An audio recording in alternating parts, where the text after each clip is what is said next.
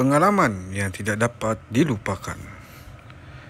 Khalid Jamlus lari menyelamatkan diri apabila dikejar oleh para penyokong Nepal dalam aksi para Olimpik tahun 2000 yang bertempat di Hong Kong sekitar Jun 1999. Dalam perlawanan tersebut, Malaysia sedang mendahului 1-0 pada minit ke-75 hasil jaringan daripada Rafdi Rashid. Kemenangan dilihat berpihak kepada Malaysia. Namun pada minit ke-88, Nepal menyamakan kedudukan hasil tandukan Anil Subah berpunca daripada satu sepakan sudut. Ini menyebabkan 3,000 orang penyokong Nepal di Stadium Girang berlari masuk ke padang dan melarikan bola semata-mata hendak melambatkan masa.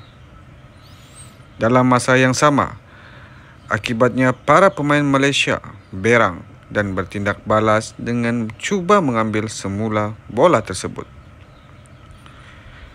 Keadaan tidak dapat dikawal. Penyokong Nepal mula bertindak ganas.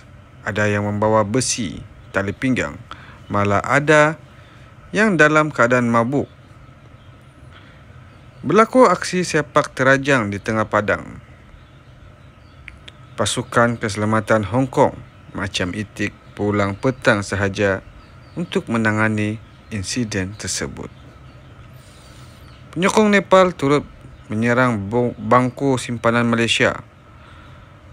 Malah turut cuba menyerang Tengku Abdullah yang ketika itu berada di tempat duduk kerusi VIP.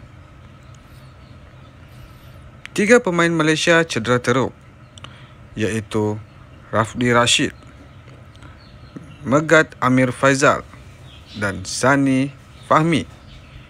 Juga seorang daripada barisan jurulatih Malaysia juga turut cedera. Rafdi Rashid mengalami retak tulang rusuk dan hampir kesemua pemain Malaysia mengalami kecederaan. Kecederaan yang dialami mereka ialah lebam-lebam, luka dan calar barar di tubuh badan mereka. Sama-samalah kita mengingat kembali pengalaman yang tidak dapat dilupakan di